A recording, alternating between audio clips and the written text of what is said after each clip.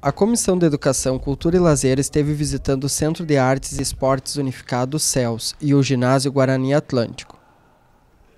Esses dois lugares fazem parte do planejamento da comissão para que retome as atividades no município. A visita dos vereadores foi para um primeiro contato com as instituições e para verificar a que ponto anda a situação delas. Que falta muito pouco para o poder público poder entregar esse espaço à comunidade que ela, ela é merecedora há muito tempo. Eu acho que a primeira coisa que tem que ser feita, até para mudar um pouco o visual, é dar uma limpeza externa. Porque o mato, dá para ver, tomou conta. Dar essa limpeza externa e contemplar com os recursos humanos necessários, que são poucas coisas que faltam. A parte mais difícil, que a estrutura está toda pronta. Atualmente, junto aos céus, está funcionando o CRAS, Centro de Referência de Assistência Social, que é responsável pela organização e oferta de serviços da proteção social básica do Sistema Único de Assistência Social, o SUAS, nas áreas de vulnerabilidade e risco social do município.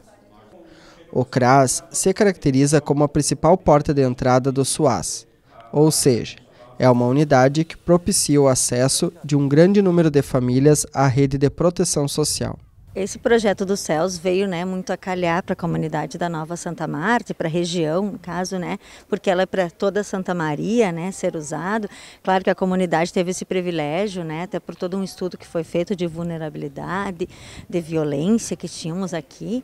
Então, assim, acho que agora a comunidade vai se sentir muito bem acolhida dentro desses espaços, né, porque temos um centro de referência em assistência, né, o CRAS Oeste, assistência social, né? Temos também um anfiteatro, um espaço de leitura, vai ter quadras de esportes, vai ter algumas oficinas que vão ser disponibilizadas para eles. Então a família vai poder estar tá participando desse espaço, está vindo. A gente está com algumas situações ainda que a gente tem que corrigir realmente. Né, como o material que está vindo para cá para suprir a biblioteca, organizar a questão do anfiteatro, né? Então isso aí a gente está coordenando junto com a Secretaria de Lazer e Cultura e a Secretaria de Desenvolvimento Social também. Eles vão nos dar o suporte para nós, uh, em maio, abrirmos realmente as portas para a comunidade. O ginásio Guarani Atlântico se encontra em estado precário. Após sofrer com o vendaval que destelhou boa parte da estrutura e com vandalismo, a situação é complicada e necessita de um grande investimento financeiro para conseguir colocá-la em atividade novamente.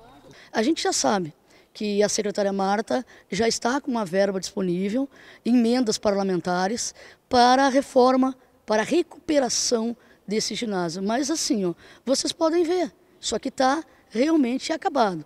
Nós, enquanto Comissão de Educação, Esporte e Lazer, com certeza vamos co cobrar do poder público uma ação de imediato aqui, porque não dá para ficar esperando mais. Se tem a verba, então já vamos começar a aplicar, já vamos começar a fazer a reforma, porque quanto mais o tempo passa, mais estraga, mais fica deteriorado esse ginásio, esse espaço, que é um espaço referência para a comunidade da Zona Norte.